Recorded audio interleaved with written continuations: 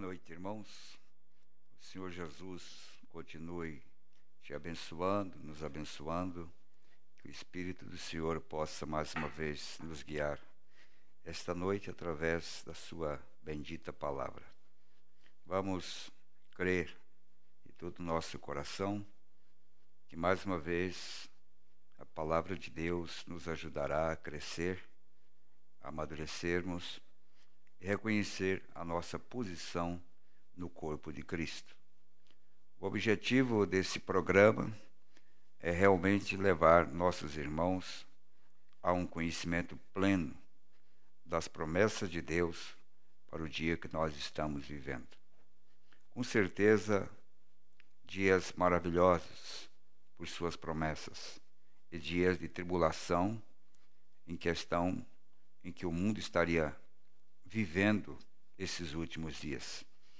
Estamos crendo que aquele que começou a boa obra em nós, ele também aperfeiçoará segundo as Escrituras. Tenho orado a Deus e buscado a direção do Senhor para falar através da internet, através do nosso, nosso púlpito, nossas pregações para a igreja. Tenho buscado a Deus para que o que eu tenha que pregar para os filhos de Deus seja unicamente para ajudá-los a serem melhores cristãos. Nunca, em momento algum, queremos usar esses meios para polêmica, mas queremos sempre usar em benefício da semente eleita que está espalhada por toda a terra. E sabemos que é um sistema que Deus guardou para os últimos dias. Cremos que ele tem um objetivo muito especial, que assim como o diabo está usando este canal chamado internet para trazer todos os tipos de males e aflições, Deus está usando para libertar os seus filhos dos males que mais incomodam o povo de Deus, que não é a doença física, mas a doença espiritual. E so, somente a palavra de Deus realmente pode curar esta doença e, e limpar o homem de tal forma que ele se torne um porta-voz, um templo no qual Deus tenha a preeminência e possa falar e agir.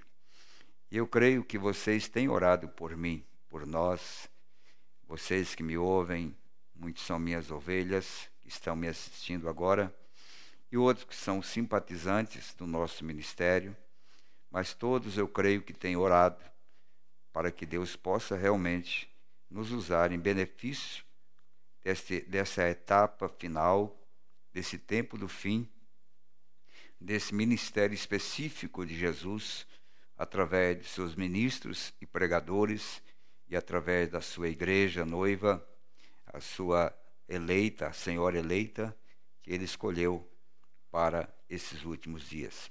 Por isso, nós temos procurado colocar a nossa página todas as pregações que temos feito aqui para lhes ajudar, para que você possam ter suas próprias conclusões por aquilo que ouve e não por aquilo que dizem ao nosso respeito.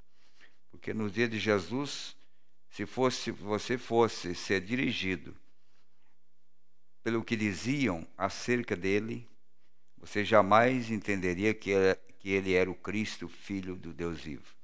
Que as opiniões eram variadas e também havia tantas coisas que eram faladas acerca de Jesus. Você olhar e examinar os evangelhos, você vê quantas coisas eram faladas acerca de Jesus, muitas delas não eram verdades mas se criava um enigma sobre quem era ele, e isso trouxe muito sofrimento para o povo que esperava a promessa para Israel, a salvação de Israel. Da mesma maneira, assim como aconteceu na primeira vinda, o profeta disse: acontecerá também na segunda vinda. Todos os problemas e sombras que houve na primeira vinda, haverá também na segunda vinda na manifestação desta vinda que ele prometeu que faria aqui entre os gentios, assim como ele fez a primeira vinda entre os judeus.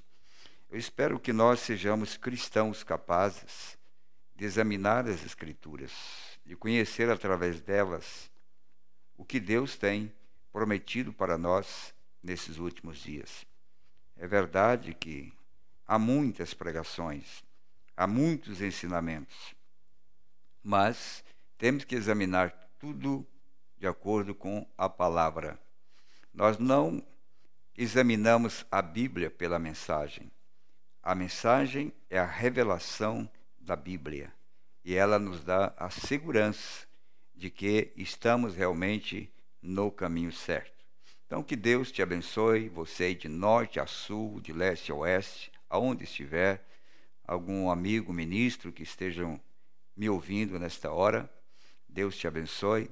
E muito grato pelas orações e também muito grato pelo respeito e a consideração que cada um de vocês tem tido por mim e por esse pequeno e humilde ministério que ele tem nos dado, que é, que é apacentar essas poucas ovelhas que o Senhor confiou nas minhas mãos para apresentá-las diante dele, uma igreja sem mancha, sem ruga, uma, uma igreja gloriosa. E isso tem sido o meu lema, meu desejo, é de ver um povo realmente abençoado, cheio do Espírito Santo e das virtudes do Altíssimo, para produzir uma vida real diante de tanta irrealidade, de tantas imitações. Eu espero que o meu povo seja um povo real, verdadeiro, que o testemunho de uma palavra perfeita que ele enviou para nós. Eu escolhi o texto, a Bíblia, para ler essa noite em Isaías, no capítulo 60, que fala de nós, fala da igreja, fala dos eleitos. São duas escrituras, Isaías, capítulo 60, versículo 1 e 2, e depois o Evangelho de João, o Evangelho segundo São João, o capítulo 1. Em Isaías 60, versículo 1 está assim: Levanta-te, resplandece, porque já vem a tua luz, e a glória do Senhor vai nascendo sobre ti. Porque eis que as trevas cobriram a terra, e a escuridão os povos, mas sobre ti o Senhor virá surgindo, e a sua glória verá sobre ti.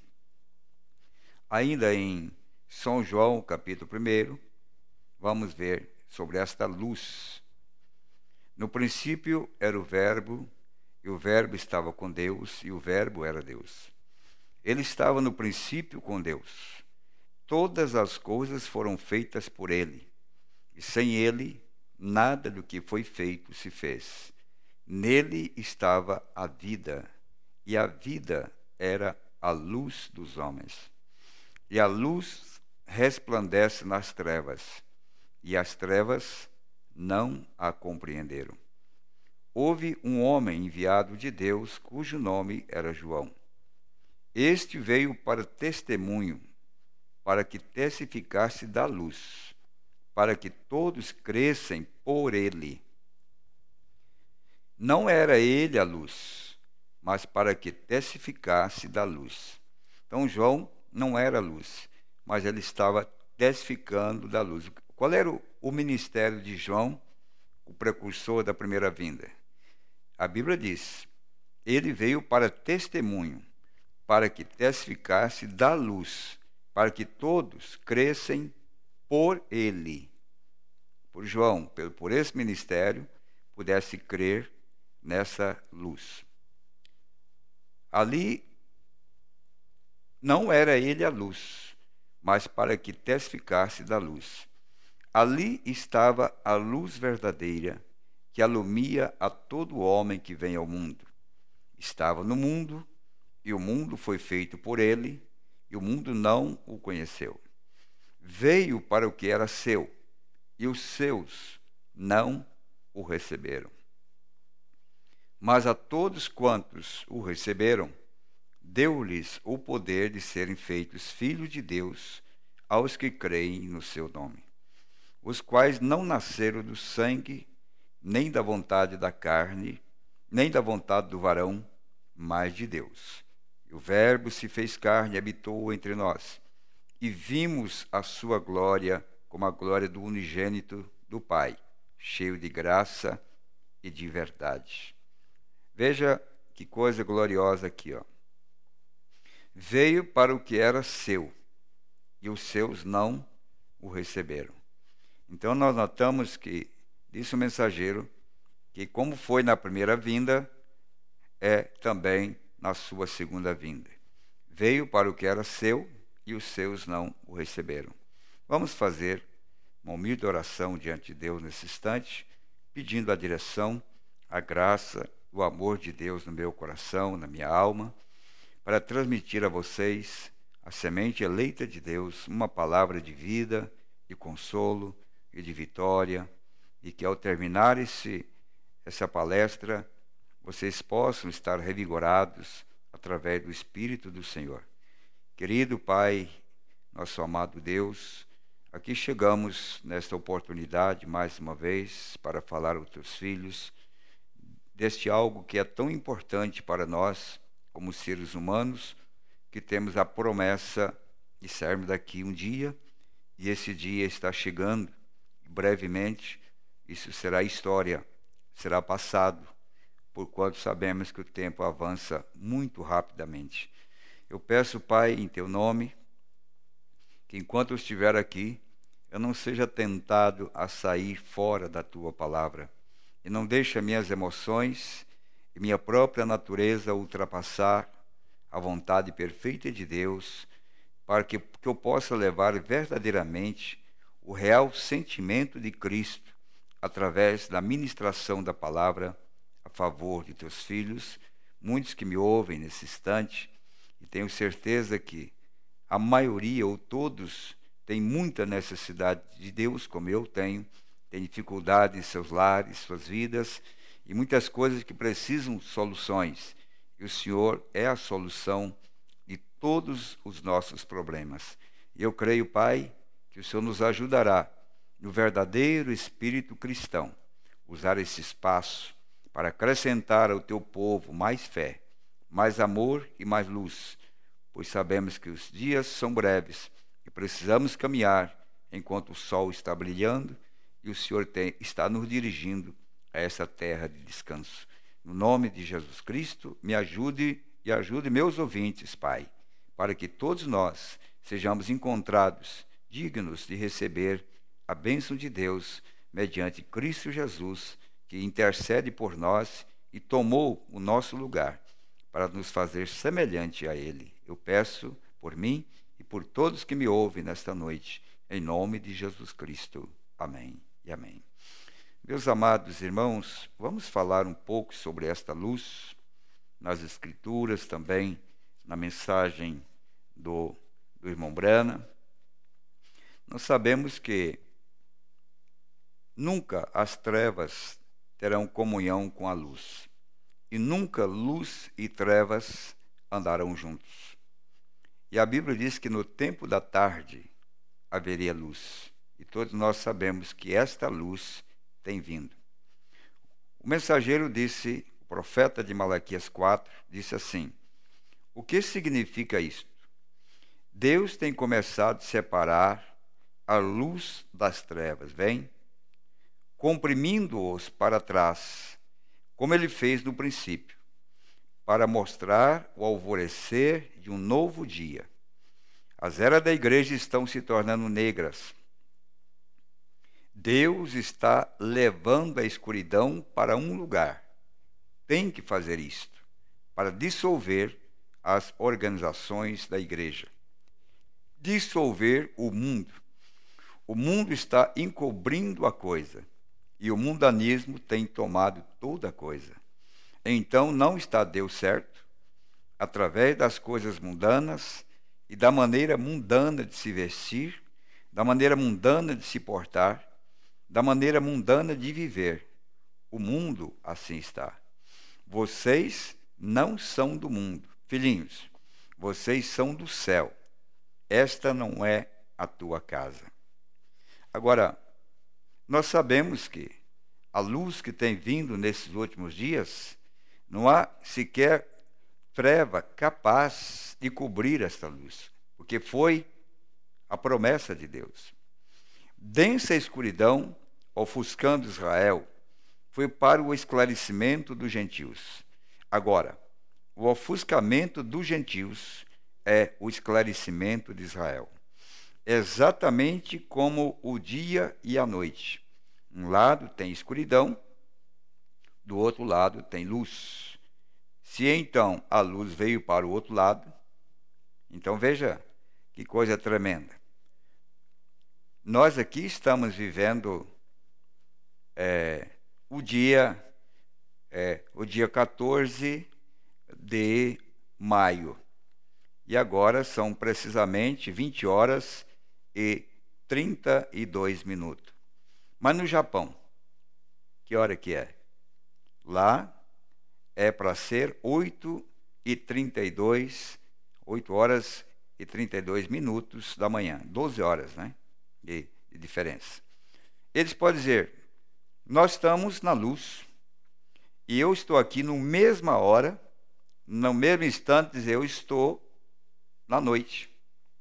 Assim é entre a luz que saiu de Laodiceia e as trevas que, que está em Laodiceia.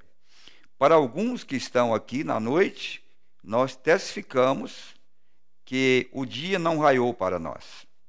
Mas para aqueles que estão lá, do outro lado, que saíram, não estão nesse continente, estão do outro lado, eles estão testificando para todo mundo que eles estão na luz. Assim nós vemos a mesma condição entre luz e trevas. Laodiceia e aqueles que foram tirados de Laodiceia e colocados para o lado de fora. Para esse, nós estamos no tempo da luz, a luz maior, o sol, o nascer do sol, um novo dia que viria, enquanto os outros estão no mesmo horário, mas estão em Laodiceia, ambos olhando para o mesmo relógio e dizendo o mesmo horário, mas, no entanto, estão vivendo na escuridão. Então o profeta diz assim, mostrando essa mostrando isso aí, ó, exatamente como o dia e a noite. Um lado tem escuridão, do outro lado tem luz. Ambos podem testificar e brigar. Nós podemos provar para o japonês que nós estamos de noite, e eles provarão para nós que eles estão de dia. Agora, a questão está de que lado você está. Se você saísse daqui e estivesse lá, você também estaria, mesmo não sendo japonês, você estaria no novo dia, sobre a luz do sol, e você diria para os seus familiares que ficaram aqui que você está na luz e que seus familiares estão em trevas. Isso é o natural apontando para o espiritual. Por isso, Aqueles que dizem que estão nas trevas, na luz ou na, na, na noite, como nós estamos aqui agora no Brasil, nós estamos falando a pura verdade. E aqueles que estão lá no amanhecer, de dia, os japoneses, eles estão falando também a pura verdade. Só que, mesmo dentro da verdade, um está usufruindo do claro de um sol que, que brilha e outro estão vivendo em trevas, mesmo que estejam certos daquilo que eles estão é, falando. Então, a lua passando da maneira que ela faz e o reflexo do mundo ofuscando a sua luz. É um reflexo para nós que a era da igreja gentílica está terminada.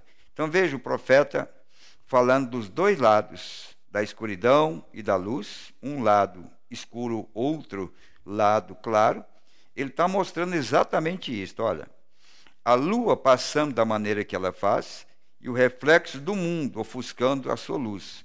É um reflexo para nós que a era da igreja gentílica está terminada. A igreja está aprontando a si mesma, aprontando-se para a hora.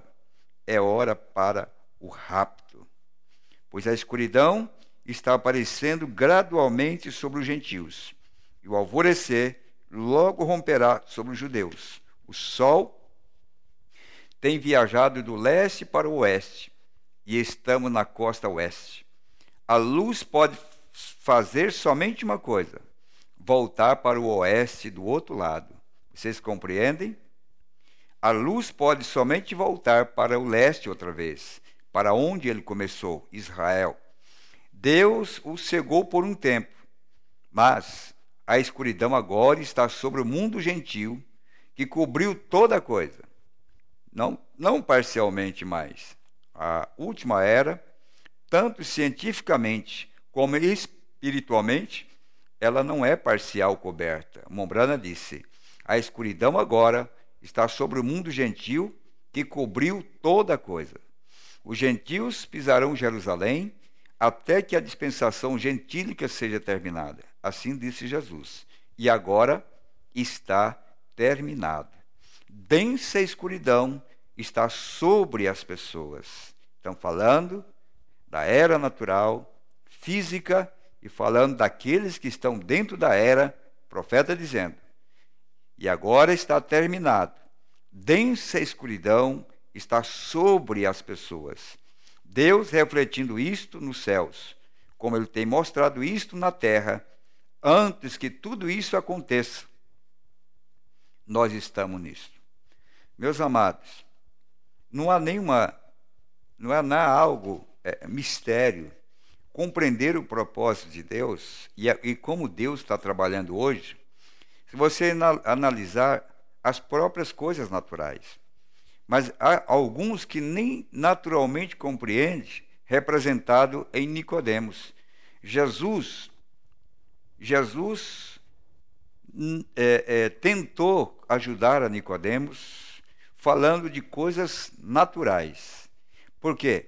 Um homem que, como Nicodemos, que cresceu no Evangelho, ele era um, um, um rabi, ele era um mestre em Israel. Jesus disse que ele era um mestre um homem conhecedor das leis, Jesus tentou mostrar as coisas naturais para que ele compreendesse as coisas espirituais e, mesmo assim, não compreendeu, a ponto de Jesus dizer para ele: Nicodemos, se você não entende as naturais, como compreenderá as espirituais? Mombrando está falando aqui da, da coisa natural, mostrando o espiritual.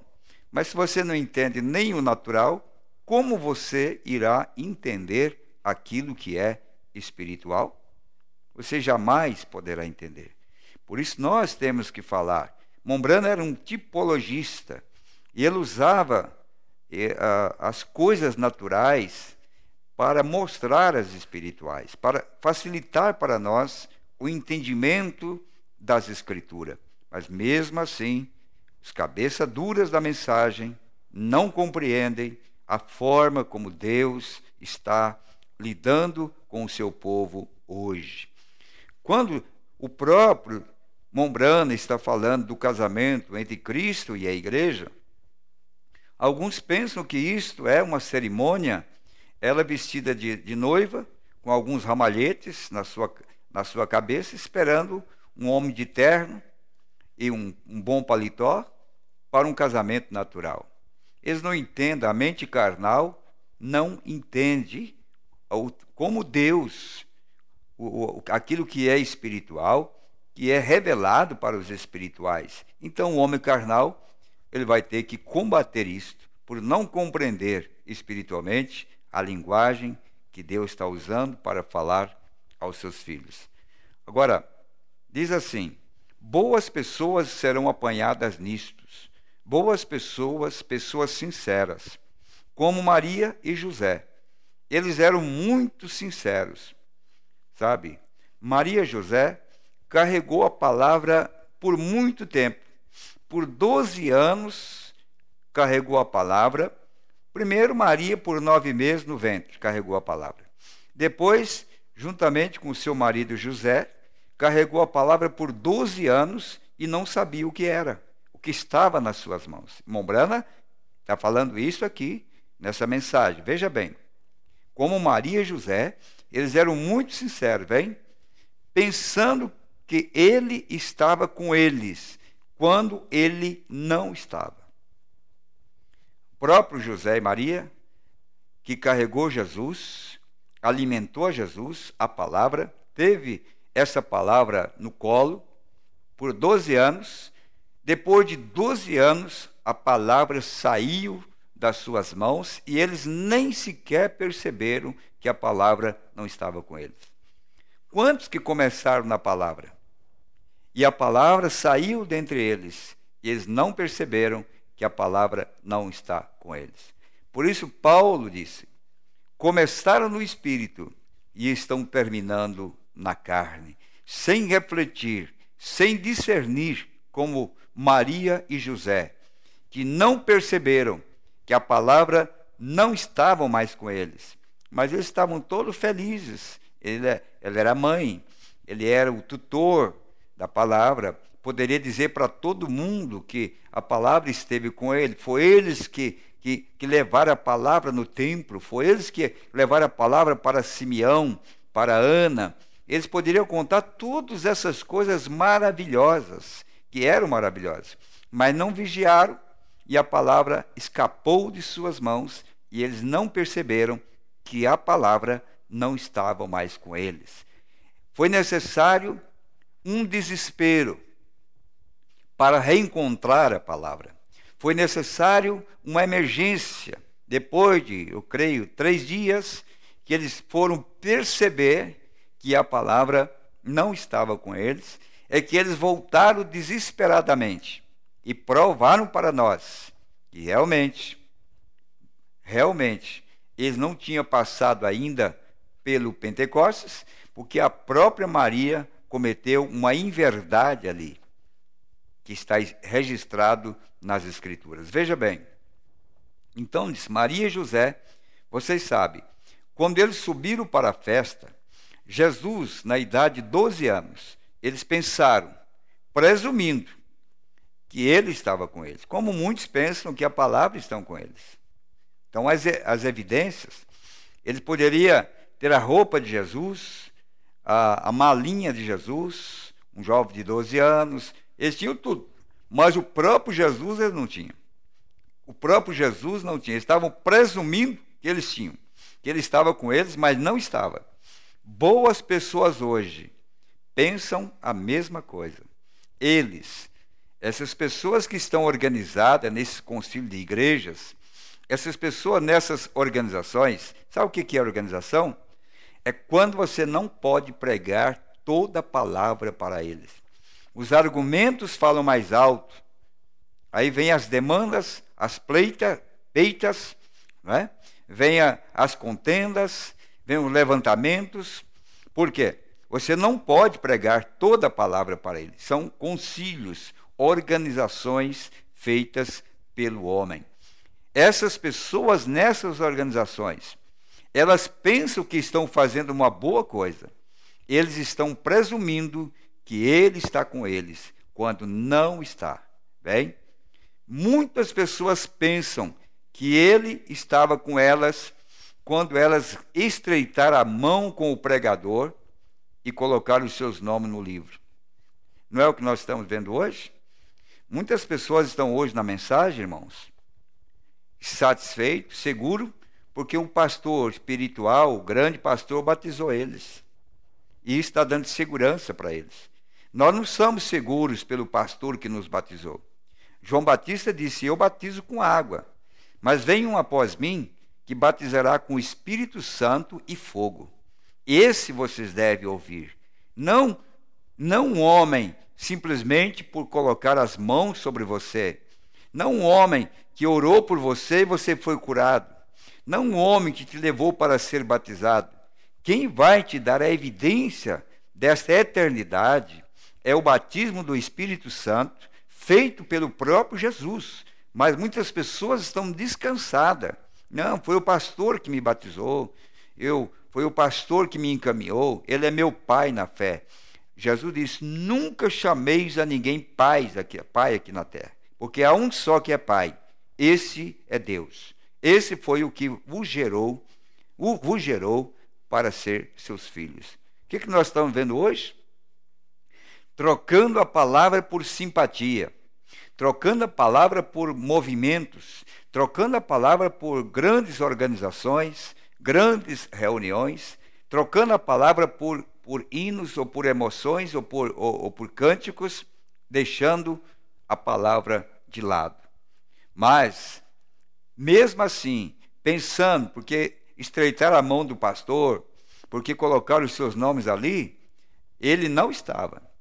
Muitas pessoas pensavam, quando elas foram aspergidas, confirmadas, batizadas no nome do Pai, do Filho, Espírito Santo, pensava que ele estava com, ela, com elas. Elas não, elas são boas pessoas. Maria e José eram boas pessoas. Porém, os fatos eram que ele não estava lá. Não presuma nada. Tenha certeza de que isto é a palavra de Deus. Esta é a nossa segurança. E para vocês, ministros, vai um conselho do profeta. Irmãos ministros, vocês sabem que quando estou falando, vocês que estão ouvindo esta fita, estou falando com vocês, não somente com a pequena congregação aqui, mas com homens ao redor do mundo. Muitos homens saem impacientes, mas crendo que o tempo está próximo.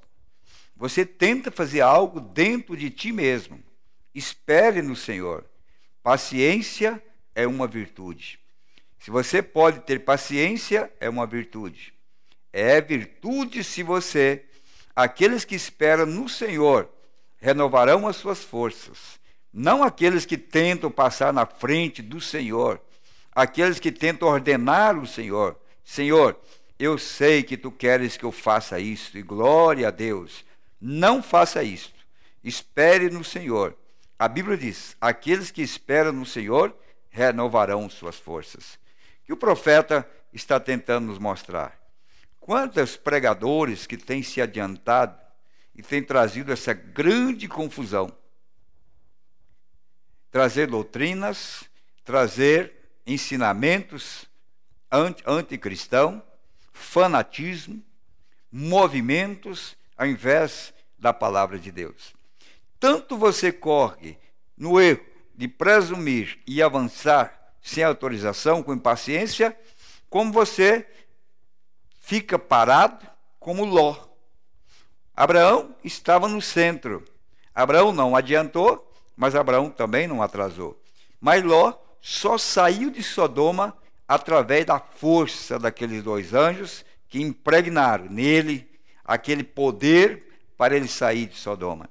Há pessoas que é assim, elas não andam, elas não saem, né? e outros que são precipitados e começa a mostrar coisas que hão de ser como se já estivesse agora.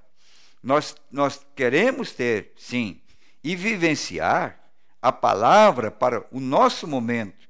O dia de amanhã, Deus nos fará viver para chegar ali, diz o profeta. Veja bem, Deus tomou milhares de anos para cumprir sua promessa de um Salvador que viria. Mas recordem, ele sabia disso todo o tempo, quando isso estava vindo. Lá havia muitas pessoas que se levantaram e tentaram ser Messias, Salvador da pátria. Homens que foram até usados, abençoados. Mas eles tentaram ser os Messias, os Salvadores, que vem, Salvador da pátria, né? Salvador do Brasil, Salvador da América, o Salvador do Chile, o Salvador. Eles tentam ser este Messias que viria para salvar. Muitas igrejas tentaram produzir Messias, em outras palavras, o único que tem a verdade, o único que é capaz, o único que é absoluto. Você terá que ouvir este homem, porque ele é o homem da hora, ele é a pessoa da hora. Irmãos, Deus nunca teve tantos canais para falar ao homem como ele está tendo nesses últimos dias. O ministério quíntuplo está espalhado por toda a terra. Todo mundo tem o privilégio de ter esse ministério dado por Deus para levar a igreja a mensagem do aperfeiçoamento. Mas algumas igrejas, elas querem produzir o seu próprio Messias. E mesmo que você produzisse o seu próprio Messias, como o Messias que estava aqui na terra, Jesus, mesmo aqueles que se aproximaram dele, caminharam com ele, comeram com ele, viram a multiplicação dos pães, viram tudo aquilo, não pôde ir para o aposento alto, porque isso é para a semente eleita, para o predestinado. O que, que nós estamos vendo hoje? Muitas igrejas produzindo Messias, são absolutos, são capazes. Irmãos, essa verdade está em toda a terra. Deus pode pegar um pequeno homem em alguma província, em alguma vila, em alguma pequena cidade, com esse homem, ele pode incendiar toda aquela região. Não estamos trabalhando, não estamos pregando para mostrar um grande homem, mas estamos mostrando esse Jesus que foi derramado sobre a igreja e que hoje está em todo o mundo, em homens e mulheres, cumprindo assim a sua palavra. Muitas igrejas tentam produzir Messias, mas Deus tinha o tempo estabelecido para o seu Messias. Ele não tinha nenhuma pressa. E durante esse tempo, ele mostrou muitos tipos de Messias. Ele mostrou desde lá de Adão até o Messias, o primeiro e último Adão.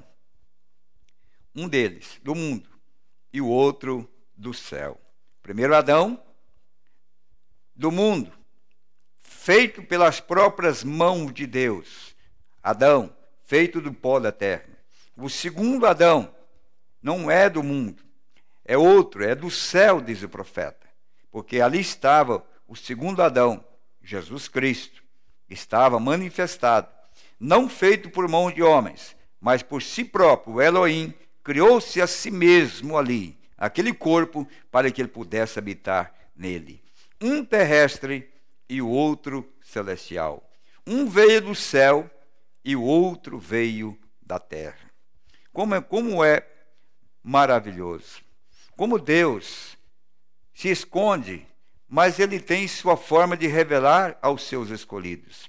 Aqui ele está mostrando um do céu, um da terra. Apocalipse capítulo 10. Um anjo forte desce do céu, mas já havia um anjo terrestre ali para receber. Ele passando para as mãos do anjo terrestre a comissão do alarido para chamar a semente eleita. Não é fácil compreender, mas a revelação nos posiciona dentro das Escrituras de tal maneira que não há base para equívoco. Sempre, quando o anjo vem, ele vem para uma comissão específica. Nós vamos ver isso no caso de Maria. Mas veja, ela veio a Maria quando William Branham tinha sete anos de idade. O anjo veio a ele e deu uma comissão para ele. Uma comissão que se cumpriria no futuro. Veja, ele tinha que ter sete anos, é sete era da igreja, mas com sete anos o anjo veio a ele e disse: Nunca bebas ou fumas, fumes, e não corrompa o teu corpo, porque terás uma obra a ser feita quando for de maior idade. Veja, a presença do anjo. Depois, na sétima era da igreja, no final da sétima era, o anjo volta, apresenta-se a este homem. De novo, o anjo desce, agora Cristo desce, apresenta-se a este homem de novo, com a maior comissão de todos os tempos e de toda a história da Bíblia, que era revelar ou não revelar. Mombrana não revelou os mistérios. Quem revelou o mistério foi Cristo. Mas a boca, o som, a voz, as mãos que folhearam a Bíblia, o homem, o corpo que foi para o quartinho, chama-se William Brana. Mas a voz que saiu não era a voz de William Brana, era a voz de Deus que saiu da boca de um homem que foi comissionado desde o seu nascimento para pronunciar esta voz, que seria o alarido de Deus, que traria toda a semente eleita em toda a face da terra, dos quatro cantos da terra. Um veio do céu, o outro veio da terra. Mas prometeu um Messias, Ele levou milhares de anos para cumprir isso. Mostrou em José exatamente o que ele era. José o representou. Davi o representou. Quando Davi era um rei rejeitado, subiu no topo da colina e olhou para trás e chorou sobre Jerusalém, como um rei rejeitado. Aquilo era Jesus em Davi. Era Jesus em Davi. Mas Davi não mudou de nome, era Davi.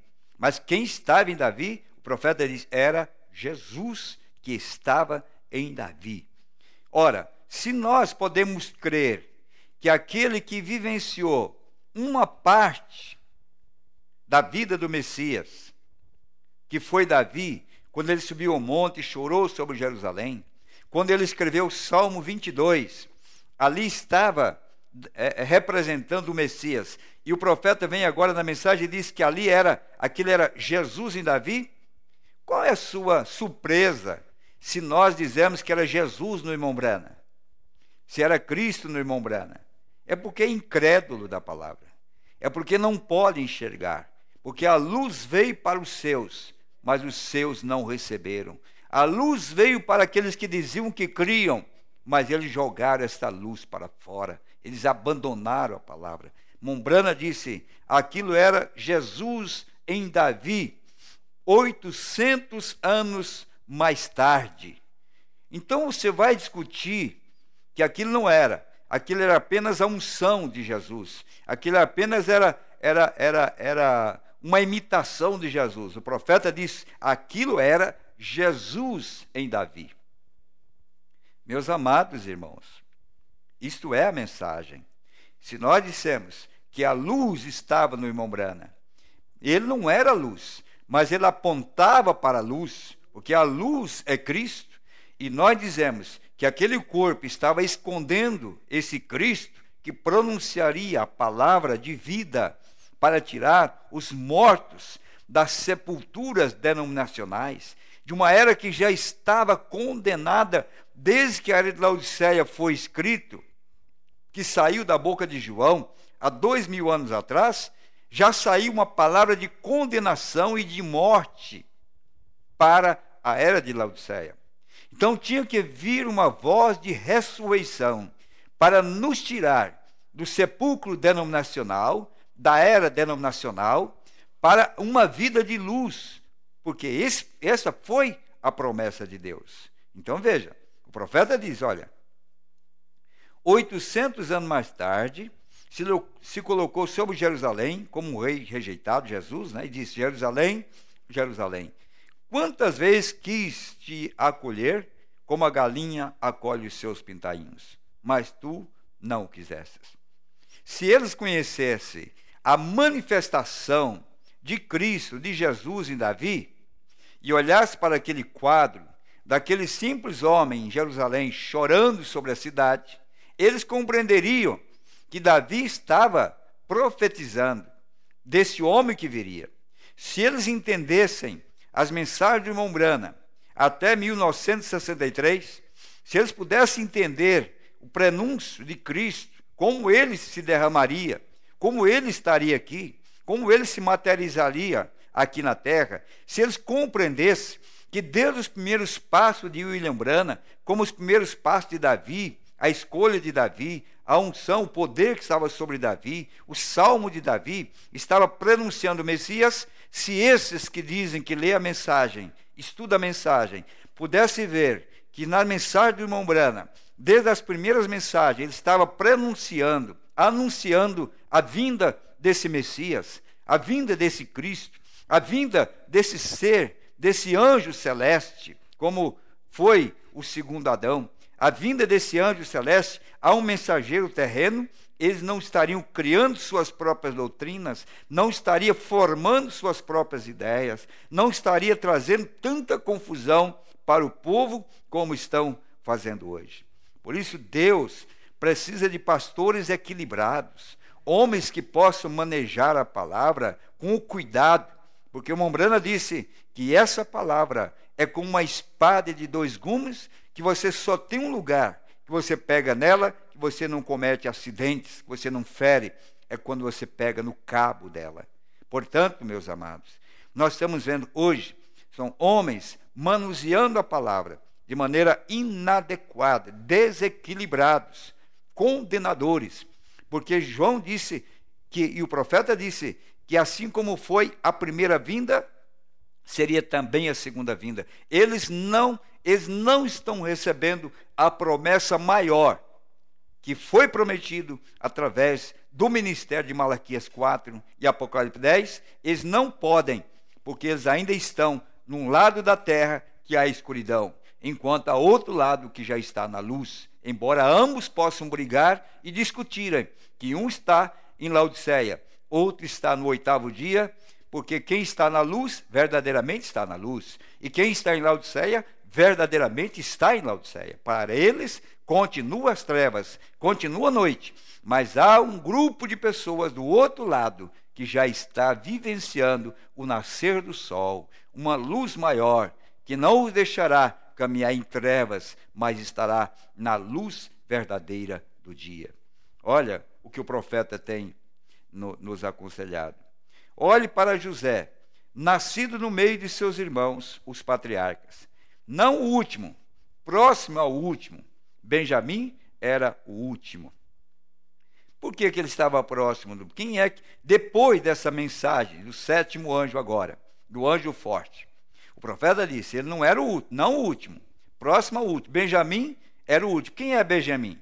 Benjamim é os 144 mil remanescentes de Israel que receberão Moisés e Elias. Mas antes desse Benjamim, veio quem? Veio José. Porque José era, era o tipo de quem? Era o tipo de Cristo.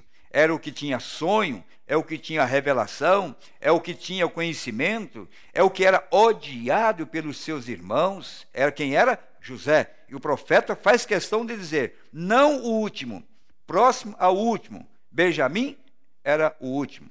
Mas logo antes do último, vem? Logo antes dele, odiado por seus irmãos, amado pelo seu pai. Ele foi odiado porque ele era um homem espiritual. Ele podia interpretar sonhos. Eles eram exatamente corretos. Ele podia ver visões, predizer coisas que aconteceriam, e eles o odiavam. Ele foi vendido por 30 moedas de pratas. Por quanto você tem vendido a mensagem? O que, que você fez com o dinheiro?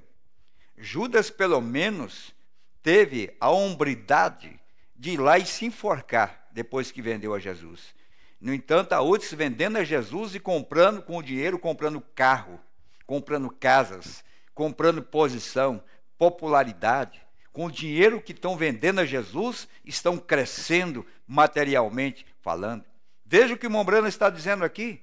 Ele está falando que esse que vem antes de Benjamim, que é um tipo de Cristo, ele veio, olha o casamento. José era um homem, era um homem casado. E esse que veio agora, o filho do homem, de Lucas 17, ele veio para o casamento, para uma esposa, para uma igreja que ele escolheu, para fazer nela a sua colocar nela a sua semente, segundo a promessa de Deus. Antes de Benjamim, está dizendo o profeta. Quem é que viria? José. José representando quem? José era profeta. José era um tipo de Cristo perfeito, um dos mais perfeitos tipos de Cristo do Velho Testamento, chama-se José. Por quê? Porque ele era antes de Benjamim. E quem é antes de Benjamim agora? Mas no dia da voz do sétimo anjo, quando ele tocar a sua trombeta, o último mensageiro, aí desce o anjo forte do céu, Cristo desce do céu. Quem é? Ó, oh, o José representado lá. Ó, oh, José, lá do Egito, antes de se apresentar, antes de Benjamim, ali está ele, o José. Glória a Deus por isso. Isso é o quadro das Escrituras. Isso é a mensagem do profeta. Por que eles odiavam Jesus? Eles chamavam-no de Beuzebu, porque ele era a palavra. E a palavra podia discernir os pensamentos que estão nos corações. Então, quem era Jesus? Jesus era a palavra. Por que, que, por que, que esse mensageiro tornou-se a palavra? A palavra estava nele. É porque ele podia discernir as intenções que havia no coração. E o profeta disse: Veja bem, porque ele era a palavra. Se você disser que Jesus não é a palavra, você é um falso. Porque toda revelação da Bíblia terá que vir através de um profeta. Deus não faz coisa alguma na terra sem antes revelar os seus segredos aos seus servos, os profetas. Toda revelação tem que ser através de um profeta. E esse profeta de Malaquias 4 revelou para nós que ele era a palavra. E a palavra pode discernir os pensamentos que estão nos corações. Eles o odiavam e eles venderam-no por 30 moedas de prata. O que, que você está fazendo com o dinheiro que você vendeu Jesus? Aonde está esse dinheiro? Judas, pelo menos, foi lá e devolveu o dinheiro, sentiu reprovado. E tem outros que têm vendido a Jesus há tantos anos, nunca voltaram. Poderia voltar e pelo menos despejar as moedas para mostrar que pelo menos tem vergonha de falar as coisas que fazem e as invenções que trazem para ofuscar o entendimento do povo e trazer escândalo para a mensagem, trazer escândalo para o, para o povo, escandalizar a própria mensagem de Jesus. No entanto, o que nós estamos vendo hoje? Por que, que José é representado? Ele foi lançado em um buraco, José foi pensando que estava morto. Sua capa sangrenta foi deixada para trás, como a vestimenta sangrenta de Jesus que foi tirada da cruz. O manto que ele usou para identificar sua morte. José também foi tirado um manto com mancha de sangue para tipificar que ele havia morrido lá nos seus dias, um tipo perfeito de Cristo, o manto que ele usou para identificar sua morte. Mas o que Deus fez com José? Ele o tirou daquele buraco e o colocou à mão direita de Faraó. E nenhum homem podia ver a Faraó, somente ver José. Não, é. Nenhum homem podia ver a Faraó, mas somente ver José. E quando José saía do palácio, trombetas soavam e havia proclamação. Mas nos dias da voz do sétimo anjo, quando ele tocar a sua trombeta, o eleito de Deus se dobrará diante dessa trombeta e reconhecerá que ele, essa trombeta, é Cristo Senhor, que tem descido para o povo, para abrir um caminho de volta, para nos levar à presença do Eterno. E a trombeta de Deus soando, e os filhos de Deus se dobrando diante desta trombeta. Amém. Nenhum homem podia ver a Faraó, somente ver a José. E quando José saía do palácio, trombetas soavam e havia proclamação. Proclamação. O alarido. O mesmo Senhor descerá do céu com alarido, com voz de arcanjo e com trombeta de Deus. Todos os joelhos se, dobra, se dobrem. José está se aproximando. O mesmo com Jesus ele foi tirado da cova, supondo que ele estava morto, e ressuscitou e assentou-se à mão direita da majestade. Nenhum homem alguma vez já viu a Deus, mas o único gerado do Pai. E quando ele sair de lá, as trombetas soarão, e cada joelho dobrará, e cada língua confessará. Vem, ele é o príncipe da prosperidade. Veja o que é o que o Egito fez então, e salvou todo mundo veio uma seca. Então, assim será na vinda do Filho do Homem. Os joelhos, todos os joelhos se dobrarão e cada língua confessará seu ser. Amém. Glória a Deus. Ele foi todo mostrado em tipos, mas Deus sabia exatamente quando ele viria. Ele sabia exatamente quando ele viria. Não importa quantos eles tivesse, tiveram antes daquilo.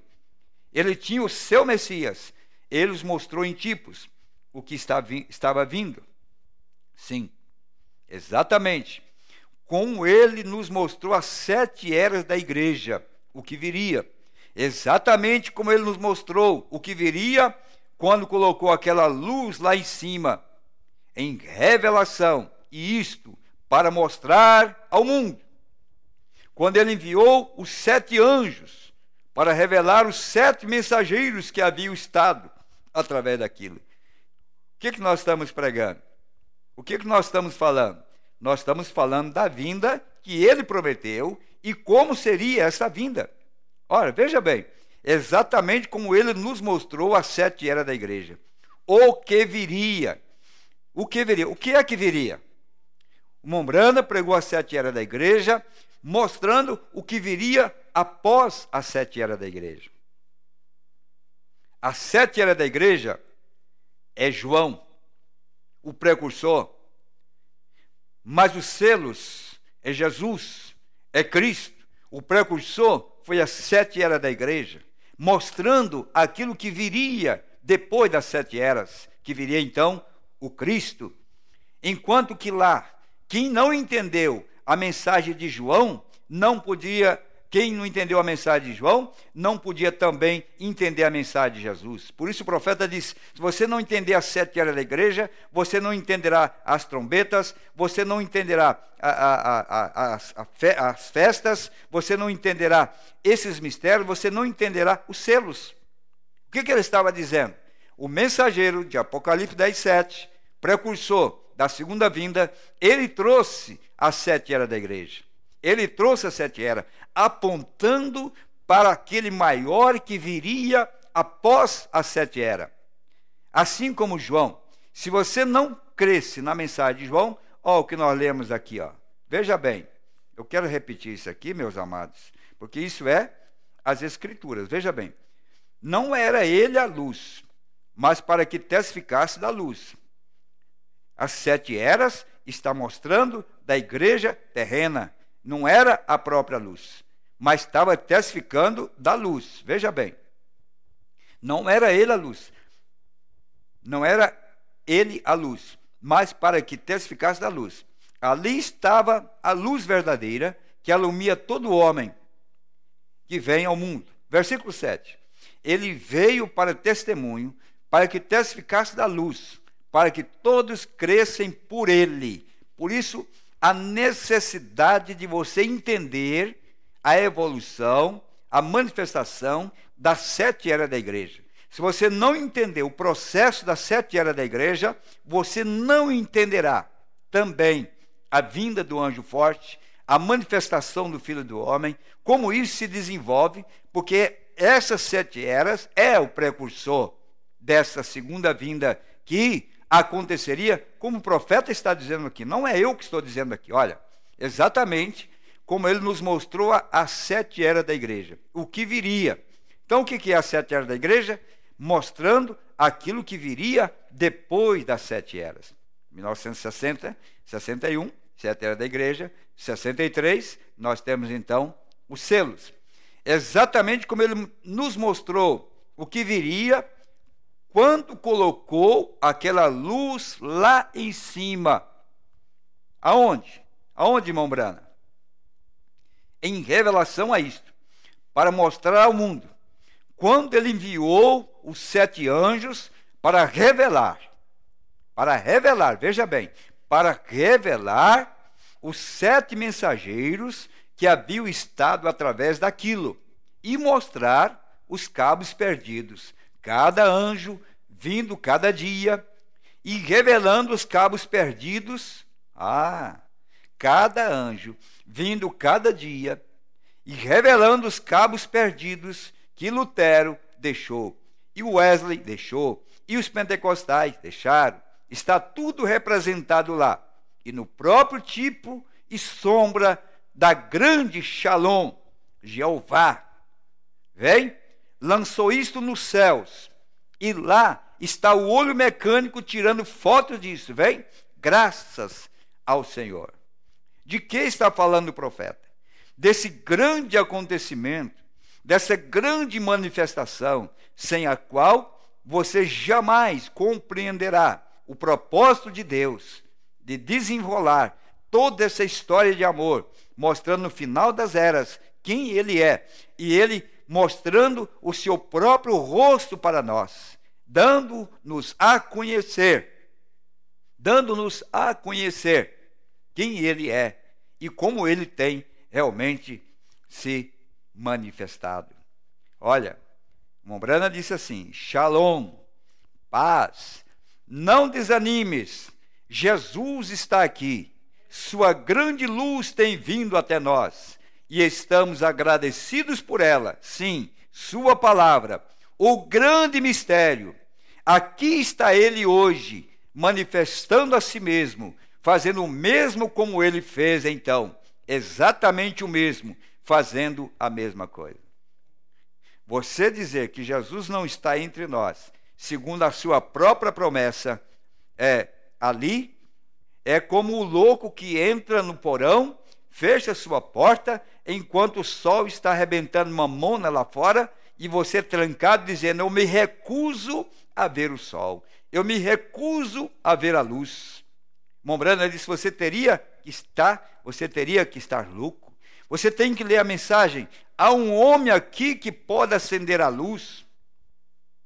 Há um homem aqui que pode acender a luz. Lembra daquela garotinha? Quando aquele guia apagou a luz, havia escuridão, e ele estava já dentro de um ambiente onde realmente era tenebroso, mas o guia sabia onde estava o botão para acender a luz, para aqueles que encontrassem o caminho de volta, para encontrar o caminho de volta, por onde eles entraram, eles teriam que sair. Nesta era de Laodiceia, quando a escuridão total cobriu a terra, as eras e foi manifestada nos céus, faltando Laodiceia, porque tudo é negro, mas havia um homem que sabia apertar o botão e acender a luz para que nós pudéssemos voltar para a nossa pátria, para a nossa terra. Ele abriu uma oportunidade para nós, para nós vermos é, essas coisas. Amém. Eu estou, tudo que eu falei está baseado nessa mensagem. Olha aí, ó. É Shalom, pregado em 1964. Não é maravilhoso? Agora, você tem que entender os quadros para que você possa entender o momento que nós estamos vivendo. Porque tudo vai se tornar o quê? Uma surpresa. É uma surpresa. Porque Deus não revela a muitos e nem a todos. Ele revela aos seus escolhidos. Eu estou certo que nós estamos repassando lições de casa. Mas, irmão Brana, a mensagem é Senhor, queríamos ver a Jesus.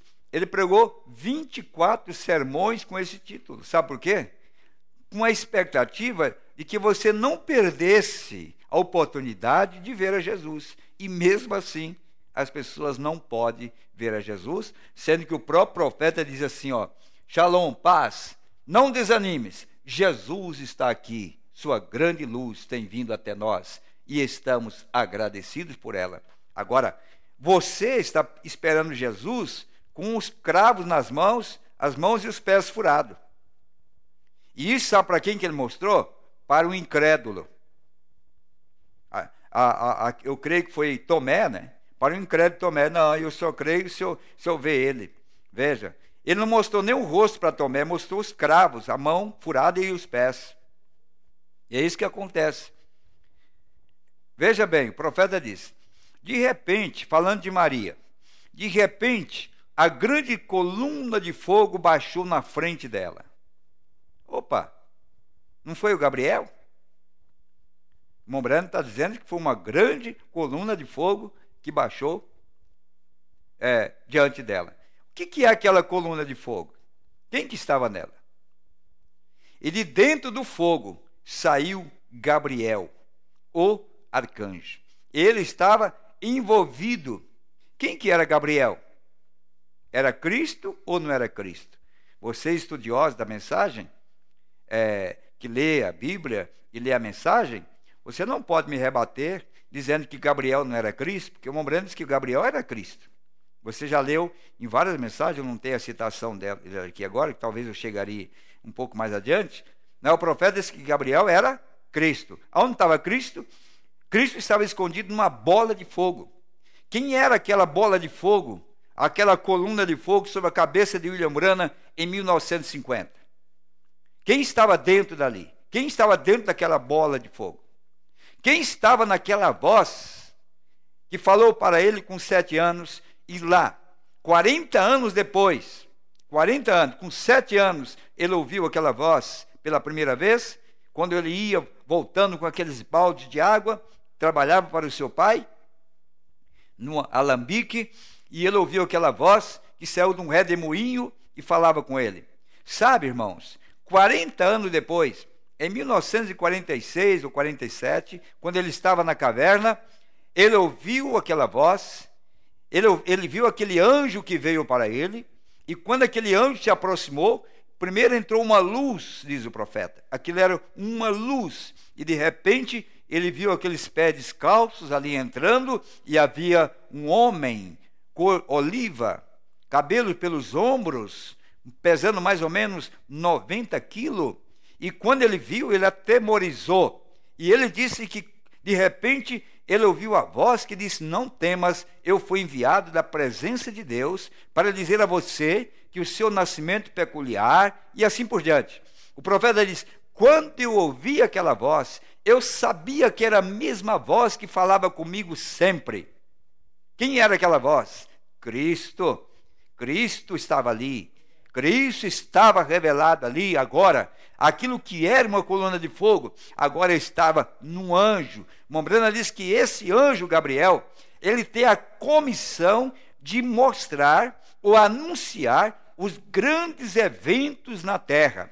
Por isso, na primeira vinda, ele anunciou o nascimento de Jesus. E agora, na segunda vinda, Mombrana nunca falou o nome desse anjo mas ele só disse que Gabriel é o anjo que anuncia as, a, a, a, os grandes acontecimentos na terra, é anunciado por Gabriel. Então você imagina quem era aquele anjo que falou com o profeta e que ele reconheceu que era a mesma voz que falava com ele durante todo o seu ministério. Veja aqui, ó. E de dentro do fogo saiu Gabriel, o arcanjo, disse: Ave Maria, que significa pare, espera um minuto. Pare, Maria. Bendita tu és de entre as mulheres.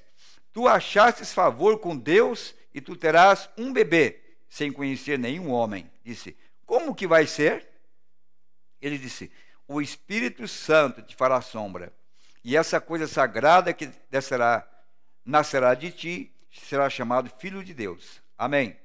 Daí em diante, Maria foi uma mulher diferente. Aquela pequenina virgem tímida saiu para todo lado testificando: Vou ter um neném sem conhecer nenhum homem. De que estava falando? Quando o anjo veio ao profeta para dar a ele a grande comissão, isso mostra que o ministério de William Brana não foi gerado por um homem. Assim como o anjo anunciou a Maria que ela conceberia sem o concurso de um homem, o ministério de William Brana não poderia ser ministrado por um concílio, por um conselho de ministros, por, uma, por, por teólogos, por grandes homens. Foi um ministério como o de Paulo.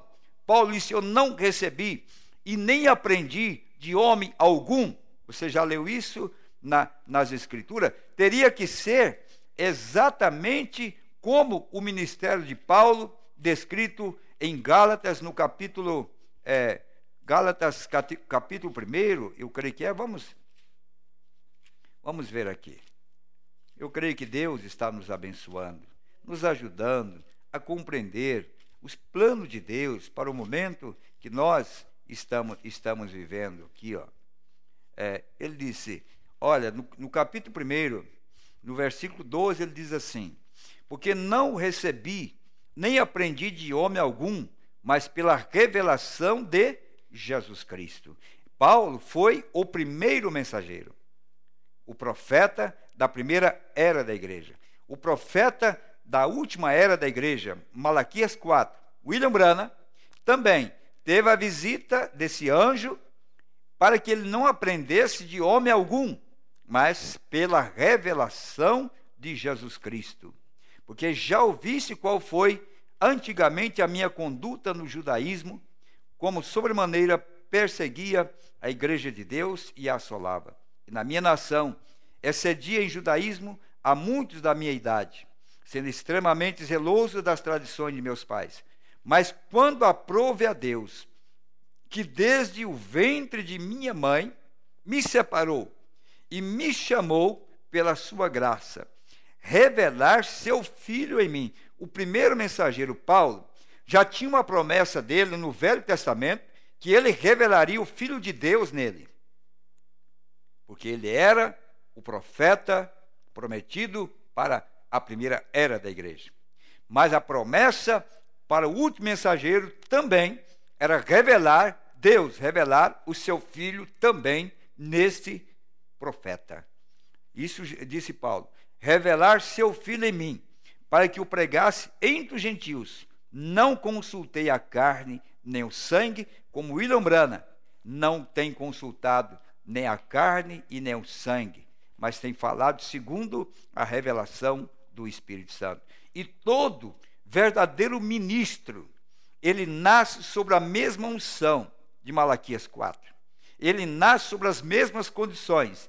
Nenhum ministro, nenhum pastor deve ter um cabeça humana. Seu cabeça é Cristo. Para quê? Para que Deus tenha a liberdade de levar ao seu povo a mensagem, o poder de Deus, que aperfeiçoa um povo para o, o arrebatamento. O que, que nós estamos vendo hoje? Homens reverenciando a homens, homens que estão unindo a homens, homens que não têm coragem de tomar posição pela verdade, com medo de perder o companheirismo de homens. Eles estão filiados a um sistema e eles não podem pregar além do que aquele sistema permite, porque eles serão punidos, eles serão levantarão nas, na, na, nas reuniões, combaterão, falarão coisas vãs, jogarão todo tipo de sombra, maledicência, para impedir que esse homem continue pregando a palavra. E são as organizações feitas pelo homem. Por isso nós não vamos pertencer à organização. Nós não vamos ser sujeito a um sistema aonde temos obediência a um certo bispo, a algum reverendo, a um certo grande homem que está trabalhando e, e tendo a, a, a, a, a fita para medir segundo as suas próprias interpretações, e se não for de acordo as suas interpretações, ele combate e se levanta para impedir. Nós não temos compromisso com o homem.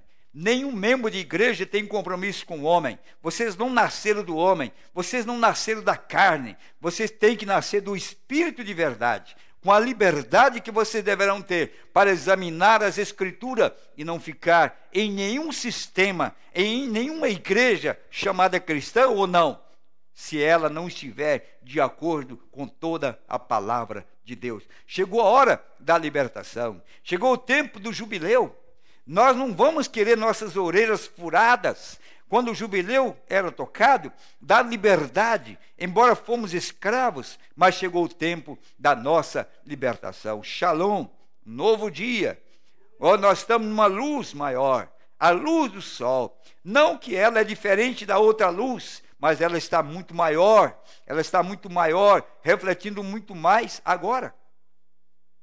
Então, o que, que nós estamos vendo? A revelação da palavra para o momento que nós estamos vivendo.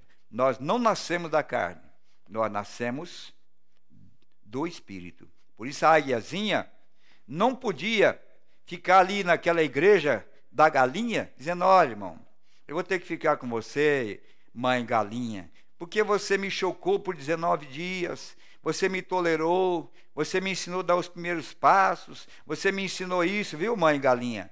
Então agora toda a minha vida eu vou ter que ficar com você aqui pagando tudo que você fez. Você me deu vida. Você me é, é como Jesus dizendo: olha, eu não posso falar. É Maria. Ela me carregou nove meses. Eu tenho que. Não, não. Quando saiu fora de, de, dos trilhos, Jesus disse: não. José não é meu pai e nem tampouco você é minha mãe. Não, não. Meu pai é Deus, por isso eu estou cuidando dos negócios do meu pai. Isso é um homem nascido da palavra. É um homem nascido do Espírito. Ele não fica debaixo dessa galinha porque foi gerado ali. Porque se ele continuar ali, os próprios piolhos vai matar. E a águia tem que voar alto para, em seus tempos de renovação, ela ter a, a, a capacidade de se renovar e matar os piolhos que estão debaixo das suas penas, porque ela voa alto para depois descer como um foguete onde ela pode arrancar as penas soltas e os piolhos que estão ali. Sabe esses piolhos que vieram, sabe de onde? Vieram do velho galinheiro. Por isso que há tantas águiazinhas hoje piolhenta em alguns lugares, porque querem viver debaixo da galinha, mas suba mais alto, voa um pouco mais alto, saca, tira esses piolhos que está em você. Você é capaz disso, águia. Você é capaz de voar. Mombrando essa águia é um passo solitário. Ela vive sozinha. Ah, eu não vivo sem igreja. Eu não vivo sem, eu não vivo sem igreja. Vive, a águia vive sim. Se ela é águia, ela vai conseguir seu próprio alimento, ela vai voar. Se ela não tem, se ela não tem asas capazes de voar, ela aluga um avião ela paga uma passagem de avião, mas ela vai voar, ela vai lá onde tem alimento, ela sabe farejar, porque o Mombrana diz, além dela voar, ela tem um faro, que ela sabe aonde está a carne fresca, e ela voa, ela vai longe, Deus dá condições para ela, não é como o pintainho diz, não, eu nasci, me criei aqui, é meu pai, minha mãe está nessa igreja, uh, essa galinha me criou, ela, ela me, me escondeu do gavião, ela me guardou, eu sou obrigado agora a ficar debaixo dessa galinha. Isso prova que você não é águia, porque quem tem medo, quem, quem, quem, deve ter medo é o gavião da águia, não a águia do gavião. Você nasceu para estraçalhar o gavião, você nasceu para tirar as penas do gavião, você nasceu para voar mais alto do que o gavião. Então você deve saltar daí, pular desse lugar que você está, voa alto e veja onde está o pão, a águia comendo a carne fresca e não tenha compromisso com o homem, nem comigo, nem com qualquer missionário, nem com qualquer pastor, nem com qualquer evangelista, pastor que for. Deixa qualquer homem que queira via, viajar ou andar sobre essas áreas, essas áreas onde os pintainhos não conseguem voar. Você tem que sair dali e voar mais alto. Essa é a promessa de Deus para nós. É o momento que nós estamos vivendo, porque esse momento é para provar quem é águia e quem é falcão e quem é abutre. Cada um vai vai se mostrar nesse tempo agora, vai mostrar a sua própria natureza, porque o alimento que você comeu até agora da palavra de Deus é capaz de te levar mais altas alturas, aonde você será livre do sistema humano, do sistema da organização, do sistema dualista, trinitariano, que está açoitando a igreja, é o pau de três esquinas batendo naquela mulher. Tem que levantar agora uma noiva palavra que se levantará contra esse sistema trinitariano, dualista, e nós vamos bater forte contra esta, esta, essa doutrina falsa que tem se levantado. E a zaga de Deus não se alimenta de quirera, a zaga de Deus se alimenta da carne fresca, da, da carne que Deus trouxe para nós, guardou para nós, agora para esses últimos dias. Sim, meus amados, esse é o tempo de mostrar quem somos nós. Não seja um Pedro que depois de conhecer a verdade, depois de conhecer a palavra, depois de ver a palavra, tão medroso que vai se esquentar no fogo do inimigo. Que covarde! Não seja covarde, não. Se levante como filho de Deus, viva pela palavra, viva pelo evangelho, viva pelas promessas de Deus para hoje, não importa, mas não vai lá se aquentar ao lado dos, dos, seus, dos seus inimigos, Olha, pessoas que estavam matando, matando a palavra, crucificando a palavra, e Pedro tendo companheirismo com esses que, que estavam matando a palavra. Quantos crentes tendo companheirismo, passeios, festas, com esses crentes matando a palavra, destruindo os irmãos, falando mal dos irmãos, e você tendo coragem de estar ali em, em banquete com pessoas, você está um velho Pedro, você precisa de um Pentecoste, você precisa de uma experiência, você precisa de uma mudança de natureza, você precisa do Espírito Santo na sua vida para ter coragem. Você não precisa de companheirismo fora da palavra. Nosso companheirismo é com aqueles que amam a palavra de Deus, que vivem pela palavra de Deus. Do contrário, nós não precisamos de companheirismo. Cabe a você analisar com quem você está agora se associando. Porque aves da mesma plumagem sempre voam juntos. Isso foi o profeta que disse.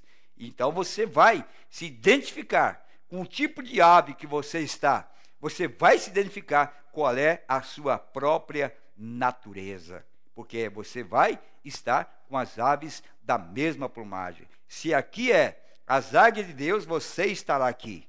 Se aqui não é águia e você é águia, você não estará aqui. Mas as águias de Deus se ajuntarão aonde estiver o corpo morto, e ali elas se alimentarão da palavra, do pão da vida prometido para nós para esses últimos dias. Não me diga que isso é falsa doutrina, viu?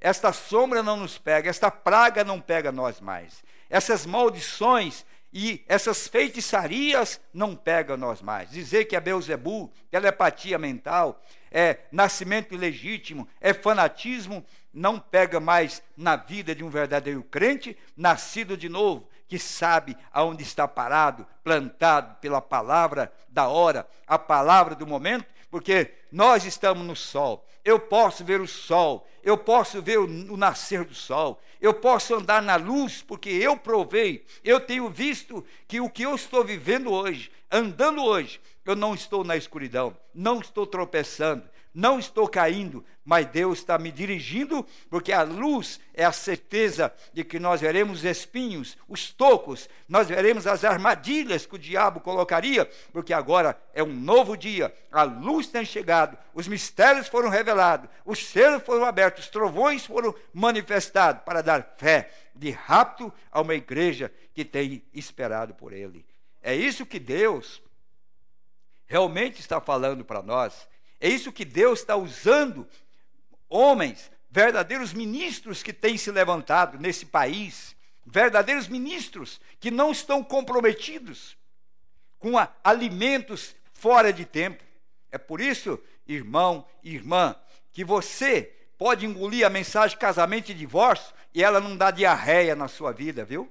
Ela não, ela não destroça você, porque você tem o estômago de águia, e alimento de águia hoje é casamento e divórcio, união invisível, escolhendo uma noiva, casamento do cordeiro. Isso são os alimentos que não, nunca vai passar na garganta de um falcão, nunca vai conseguir chegar não vai passar ali, porque vai causar um distúrbio naquela vida. Mas você, como águia, você pega todos esses alimentos, você come, e aquilo que é duro, você, você mastiga, você vai roendo aquilo e você vai digerir aquilo, porque você foi feito para comer alimento de águia. Nada mais do que isso. É isso que Deus está fazendo para nós.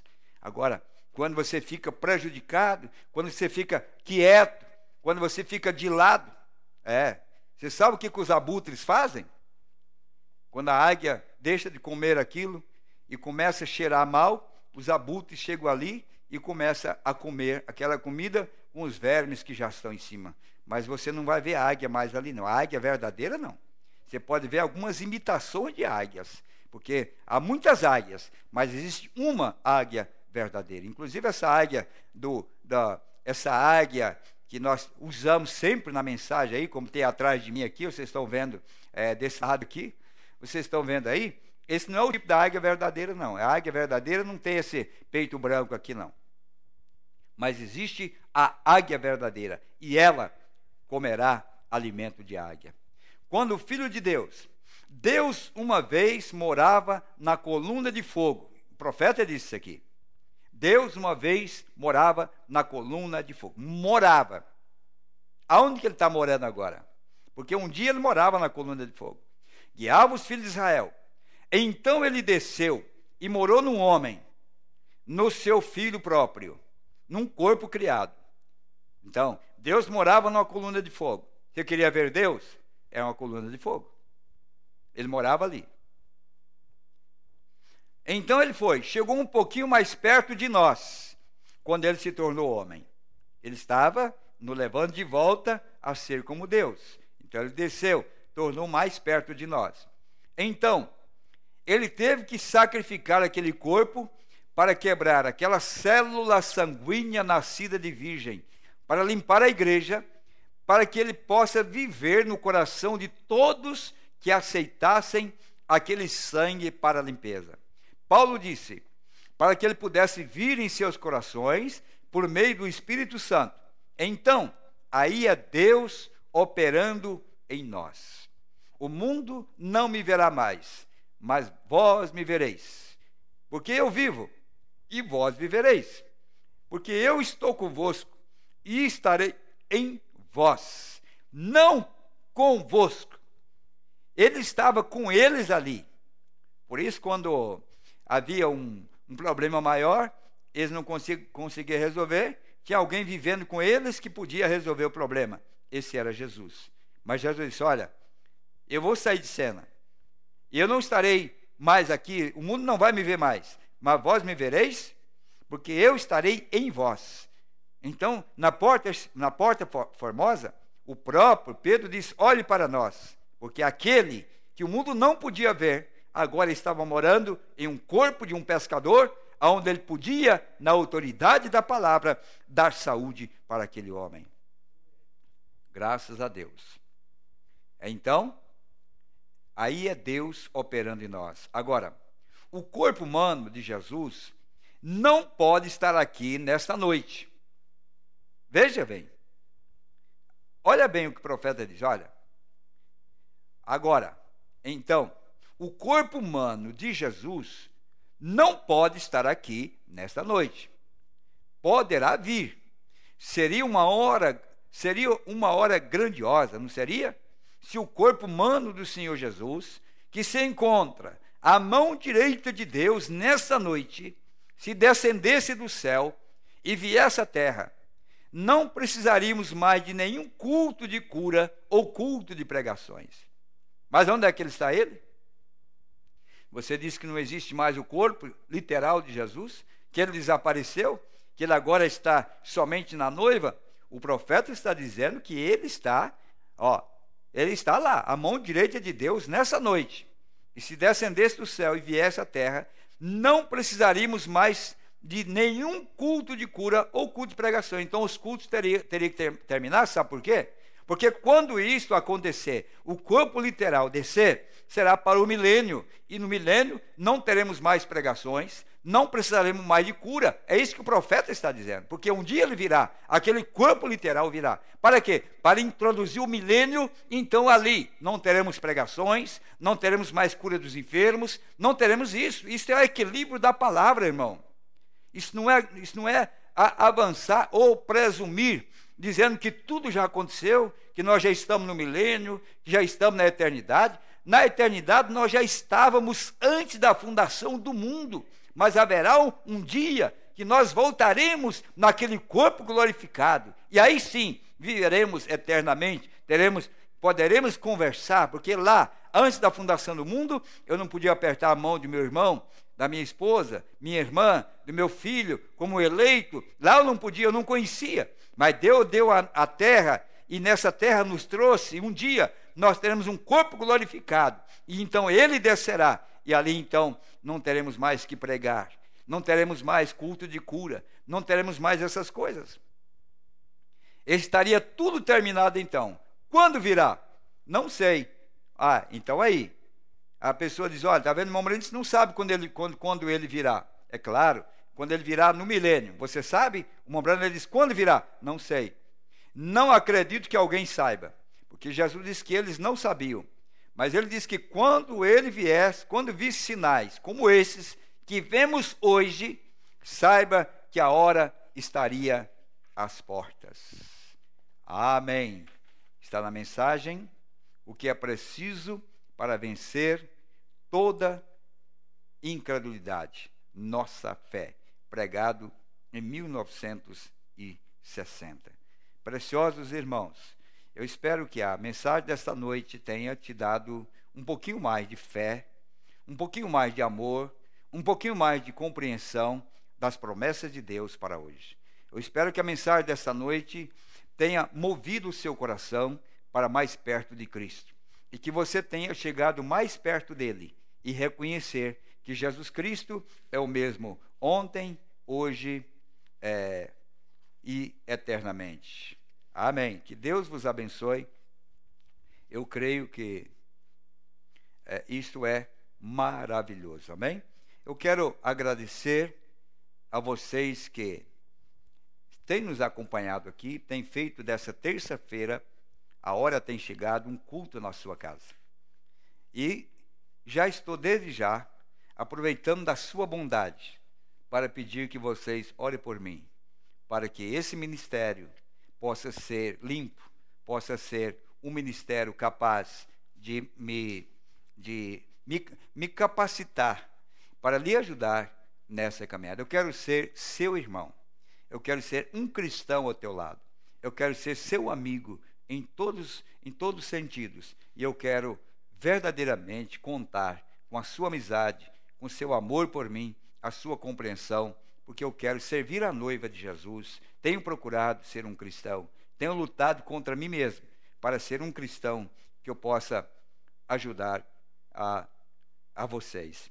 Uma carta de gratidão do irmão Edivaldo Leite Fernandes. É uma carta de gratidão. Pastor Raimundo, testifico para a honra e glória do nome de nosso Senhor Jesus Cristo uma cura por mim alcançada durante as reuniões de Páscoa, que passo a relatar a seguir. No dia 19 de janeiro deste ano, tive uma forte dor na região do abdômen e fui levado às pressas ao pronto-socorro, onde o médico detectou que se tratava de cálculo renal. Fui encaminhado para um urologista que, após alguns exames de raio-x e ultrassonografia, descobriu-se que havia duas pedras no meu rim direito. A dor era insuportável e só passava sob efeito de fortes medicamentos. Em março, fui submetido a uma lito, litotripsia, cirurgia a laser, porém a dor continuava ainda mais intensa. Fui submetido a outro exame, quando o médico constatou que a pedra havia saído do rim, se alojado no uréter. Quando retornei ao urologista, uma semana antes da reunião de Páscoa, ele me informou que eu deveria ser submetido a uma cirurgia. Mesmo sendo simples, confesso que tive muito medo. O médico então marcou uma tomografia para o dia 8 do 4, e no dia 17 do 4 seria marcada a data da cirurgia. Como de costume, estávamos eu e minha família em conexão com a igreja, assistindo o culto no sábado à noite, 30 do 3. E no final daquela poderosa reunião, senti o toque do Espírito Santo na forma de um calor intenso na região abdominal. Naquele instante senti que havia sido curado.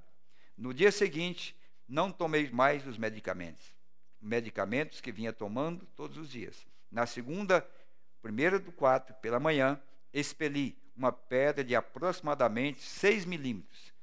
E ao longo do dia expeli mais duas menores.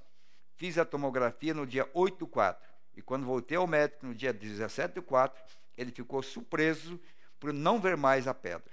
Foi quando eu disse que havia expelido, ele afirmou que uma pedra daquele tamanho no homem era difícil sair espontaneamente. Também perguntou se sentia muita dor ou se havia tido hemorragia. Quando disse que não, ele ficou mais uma vez admirado. Desde o dia 1 de abril, não tenho mais cólicas renais e não tomo mais os medicamentos que tanto prejudicavam meu estômago. Agradeço ao pastor Raimundo pelas transmissões dos cultos, pois têm sido bênçãos para a minha família. Creio que muitos também são abençoados com esse trabalho. Que Deus abençoe a todos que ouvirem esse testemunho. Basta somente crer, pois tudo é possível ao que crê, e você também poderá alcançar a sua bênção. Edivaldo Leite Fernandes, ali do estado de São Paulo. Amém? Deus vos abençoe. Meus companheiros de sempre, ouvintes de sempre, é, é, irmão de sempre, que estão sempre comigo, eu quero agradecer aqui a, a sua. É, a sua palavra de, de, prestígio por nós, né? a sua assistência no programa desta noite, convidando a você também para o próximo, da próxima terça-feira, se Deus quiser. Agora nós temos na segunda-feira pastor Samuel Roldão, às, às nove e meia da noite. O, às, às terças-feiras nós temos o nosso culto aqui, né? Às oito e quinze. A quarta-feira nós temos também a nossa transmissão. É, sábado também nós temos. Domingo de manhã vocês têm o pastor Vanderlei em, em Belo Horizonte. E, e tem o pastor Júlio também em, ali em, é, em Joinville. Nós temos também o pastor João Henrique em São Paulo.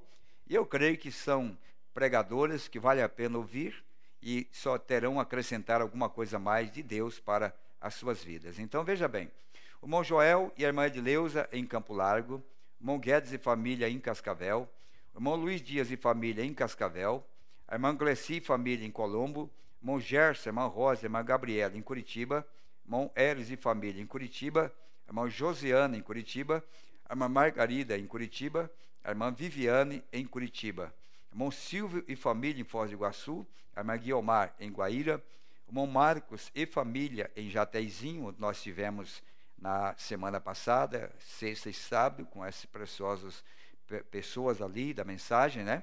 Como também irmão Juraci, irmão Francisco, irmão Eduardo, né? Em Londrina, irmã Érica, irmã Teresa, irmã Miriam também em Londrina, onde nós estivemos, que Deus abençoe vocês. Irmão Eliezer, Gabriel, Inês e Pedro em São José dos Pinhais, irmão Joglair e família em São José dos Pinhais, nosso é, cooperador, ajudante ali, irmão Joglair Gregolin, é, o irmão Misael e família em São José dos Pinhais, a irmã Ruth Maia e família em São José dos Pinhais, o irmão Samuel, irmão Franciele, irmão Bruno em São José dos Pinhais, o irmão Sebastião, irmã Cleide, irmã Emanuela em São José dos Pinhais, o irmão Hélio em Serra Morena, também pessoal da igreja do pastor Samuel Roldão, que esteve conosco em Jataizinho. Irmão Sandro e família em Vera Cruz Oeste. Irmão Aparecida, irmã Zilda em Cosmópolis. Irmão Enes em Mogi das Cruzes. Irmão José e a irmã Inês em Mogi Guaçu. Já estava com saudade de ouvir o nome do irmão aqui, ao ponto que nós entramos em, em contato, né, irmão José e a irmã Inês. O irmão Alodir em Camboriú. Irmão Alcindo irmã Rosemary e Ellen, em Criciúma, irmão Antônio Barabas, no Turvo, Santa Catarina, irmã Sandra e irmã Ana Lídia, que estiveram conosco na ceia, lá de Gravataí, a irmã Ada e a irmã Rosane, irmã Rosane também esteve conosco aqui na ceia, essa última ceia, aqui em Curitiba, lá de Novo Hamburgo, a irmã Ellen, em São Leopoldo, a irmã Margarete e irmã Sabrine, São Leopoldo, irmão Pedro Vilaça, em Belo Horizonte, irmão José Batista, em Lagoa Santa, Minas Gerais, irmã Helenice, Elazir, Ângela e Eliana, em Sabará, Minas Gerais, irmão Evandir e Frauzina, em Campo Grande, é, irmã Micaela, em Cidrolândia, no Mato Grosso, irmão Elifas e Mônica, eu creio que já voltou do mar, né, Elifas? Estava embarcado, você voltou, Deus te abençoe. Creio que você teve um bom, bom trabalho ali, está sempre conectado conosco ali em Macaé. Eu falo assim porque você não sabe, o Elifas é meu, é meu filho e a Mônica é minha nora, que tornou também a minha filha quando casou com Elifas, né? Então, cada um dos meus filhos casados trouxe uma nora, tornou meu filho também. E também o irmão Marcos Maia e família está nos assistindo também. Minha nora, a irmã Vânia, já está bem melhor do acidente que ela teve. Nós oramos por ela, vocês têm orado e realmente foi uma benção. Aqui o irmão Eres agradece a oração dos irmãos pelo seu filho de Davi, pois já está bem em casa assistindo a transmissão. Nosso abraço a todos vocês, irmãos. Deus vos abençoe. Espero encontrar vocês pela internet amanhã, a partir das sete e meia da noite. E na próxima terça-feira, como sempre, mais uma vez, se assim o Senhor nos permitir. Nós estamos indo a Assis de Tobrião, onde temos um casamento nesse próximo sábado. Né? Vamos estar ali para um casamento. Deus vos abençoe. Até a próxima oportunidade que nós podemos nos encontrar. Ore por nós. Estarei orando por vocês às madrugadas, lembrando de vocês. E shalom. Novo dia. Paz. Shalom. Uma boa noite para vocês. Até a próxima, se Deus quiser. Oh, Jesus is coming soon. Our